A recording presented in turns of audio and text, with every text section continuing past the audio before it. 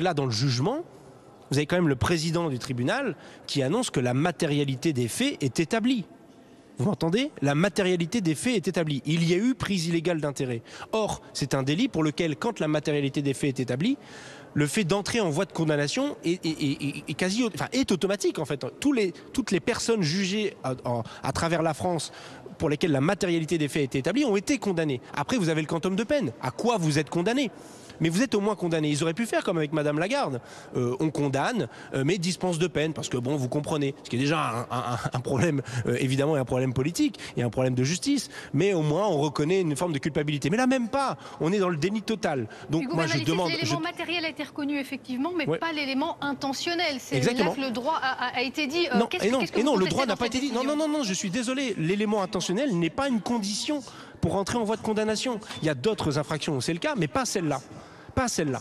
Et tout ça a été écrit pour pouvoir essayer de défendre cette relaxe. Hein, parce qu'en fait, c'est indéfendable en droit. C'est indéfendable. C'est pourquoi j'en appelle à l'honneur euh, du, procureur euh, général près de la Cour de la Cassation, euh, Monsieur Rémi Yates, qui était le procureur dans le procès. S'il croit dans les réquisitions qu'il a prononcées, d'entrer en voie de condamnation, de demander de la prison avec sursis, je lui demande de faire appel de cette décision devant la Cour de cassation. Il en va de l'honneur de la justice, de l'honneur euh, de, du pays, de l'état de droit. Bon, parce que sinon, euh, enfin sinon, ça veut dire quoi? Ça veut dire que le mode de gouvernement euh, normal en Macronie, c'est la prise illégale d'intérêt? C'est ça? C'est ça qu'il faut comprendre? Ah, on avait des sérieux doutes avec McKinsey et compagnie, mais bon, là, quand même, ça fait trop.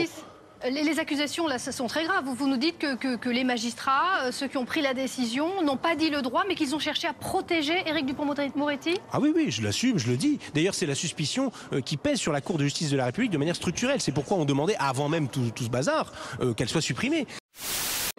Écoutez, je suis, abasourdi.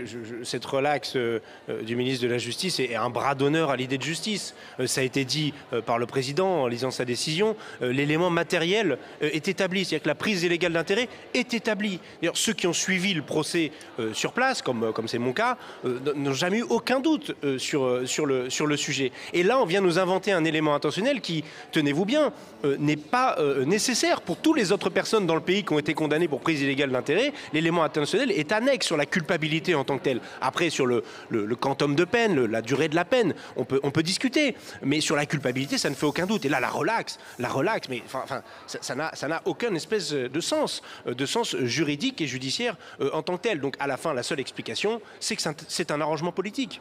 Voilà, l'ex-président de la, de la Cour de justice de la République, M. Parlos, que j'ai auditionné en tant que président de la commission d'enquête sur l'indépendance de la justice en 2020, disait lui-même que, dans l'explication un peu triviale, tout ça, on ne peut pas ne pas suspecter qu'il y ait des arrangements entre amis. Et moi, je questionne ces arrangements euh, entre amis. Quels sont ces arrangements? Est-ce qu'il s'agit d'un amendement qui sera voté dans un sens ou dans l'autre? Est-ce que c'est le projet de loi asile-immigration où on prend des propositions des républicains? Parce que c'est ça aussi le sujet.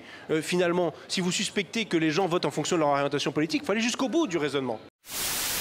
Je veux dire, a, on a une décision de relax pour un ministre pour lequel les faits sont matériellement avérés. Le président du tribunal a annoncé ça tout à l'heure en rendant le verdict. Or, pour la prise illégale d'intérêt, quand les faits sont matériellement établis, on entre en voie de condamnation. L'élément intentionnel, c'est annexe, en réalité, pour savoir si on va faire deux mois, trois mois, un an de prison, dix ans, ferme, pas ferme, etc. Euh, donc là, c'est un véritable bras d'honneur à l'idée de justice. Euh, qui a été fait sur cette décision concernant Éric Dupont-Moretti. Euh, moi, je, suis scandalisé et ça, interroge à plusieurs titres. D'abord sur comment cette décision a été prise. Vous savez que ce sont des parlementaires élus, euh, six députés, six sénateurs. Euh, le président Parlos, l'ancien président de la Cour de justice de la République, que j'avais auditionné en 2020 dans la commission d'enquête sur l'indépendance de la justice, et je ne savais pas alors que Dupont-Moretti serait devant la, la Cour en tant que tel, disait mais on ne peut pas s'empêcher de suspecter qu'il y a des arrangements entre amis.